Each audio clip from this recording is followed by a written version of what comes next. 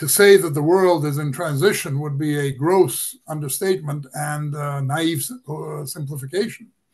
What we're living today is not a routine changing environment, rather a pivotal moment, a change of eras, which occurs only every century or so, with the emergence of a new social and economic paradigm.